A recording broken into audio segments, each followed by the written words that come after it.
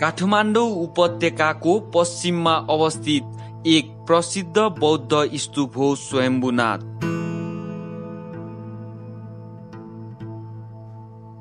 यसलाई महाचैत्य पनि भनिन्छ।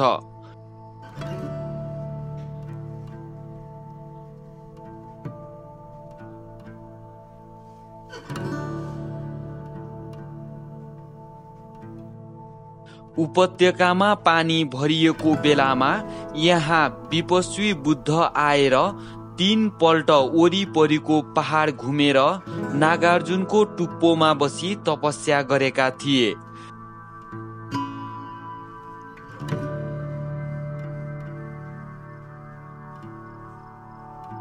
त्यसपछि वैशाख पूर्णिमाको दिन कमलको बिउ दक्षिण फर्की मन्त्र गरी दहमा रोपेका थिए।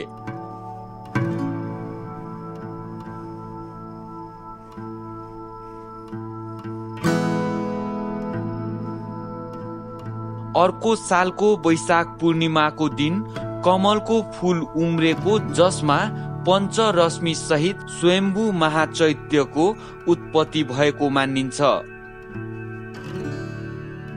संस्कृतबाट स्वयम्भूको अर्थ स्वयं उत्पत्ति भएको भूमि भन्ने बुझिन्छ।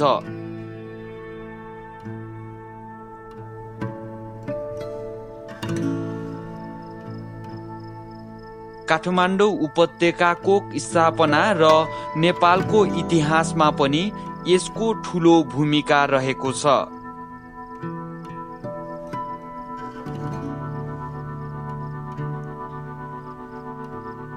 भगवान मञ्जुश्रीले पनि काठमाडौँको स्थापना गर्नु अघि यो भूमिमा बसेर तपस्या गर्नु भएको उल्लेखित पुरानो ग्रन्थहरूमा पाइन्छ।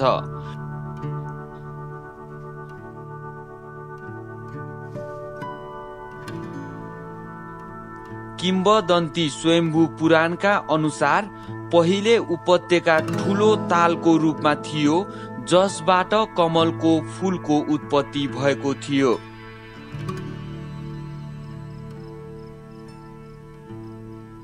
त्यसपछि यसको नाम स्वयम्भू रहन गएको हो जसको अर्थ स्वयं उत्पत्ति भएको भूमि मानिन्छ।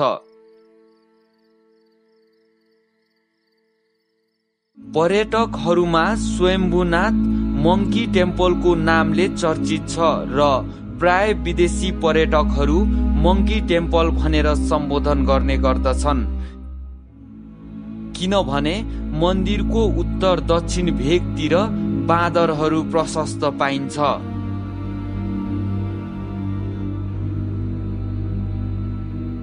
बोधिसत्व मञ्जुश्रीले एक पटक स्वयम्भूमा कमलको फुल देख्नुभयो र त्यहाँ गएर पूजा आजा गर्नुभयो।